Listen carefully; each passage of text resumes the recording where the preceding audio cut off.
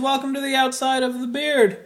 So today I'm feeling uh, a bit tired, but I'm productive. I'm getting a lot done. I feel good about that. Um, in my previous video, I talked about British TV shows. I forgot to mention Downton Abbey. It's my favorite, well, one of my favorite British TV shows. I love it. And uh, so I love that. A lot of you mentioned the It crowd. Uh, I've heard of it. I will watch. I will check it out. And Sam, you mentioned Peep Show. Sam loves Peep Show, and he recommended it to me. I will check that out too. Uh, as far as American shows go, shows that I currently love, Breaking Bad is the best show currently on TV. It is. All right, just is.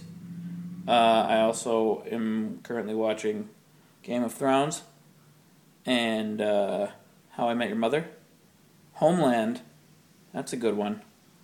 Uh, Californication, season five kind of sucked, but se- seasons one through four were great. Um, and let's see what else we got. There's a lot of shows, guys. But if shows of all time, The Wire is my favorite of all time, probably. It's great.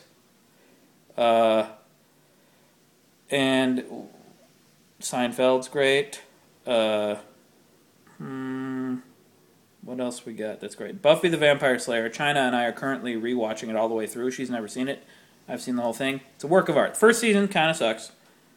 Gets better and better and better, and it stays good all the way to the end, even the last episode. It's great. Unlike shows, now I might get into spoiler territory here with the shows Lost and Battlestar Galactica, so if you are watching those, go away. Uh, I didn't like the ending of those shows at all. They they blew it for me. I started liking it a lot, but then they blew it by the end. Buffy doesn't do that. I don't like it when shows end with a cop out like, well, no, this is just because of God, or this is just because of destiny. This is this is just because I have a southern accent because that's why. I don't I don't know why I, did a southern accent then. It just it doesn't leave me satisfied at all. It's like explain away the story uh, in a way that that involves the characters and what they did and the consequences of what they did. Don't don't don't say, well, it's just afterlife stuff, or this is just the mystical stuff that no one knows. You know, that, I don't like that. I don't like it. Uh, keep it keep it about the characters and not about things that are out, that are out of their control.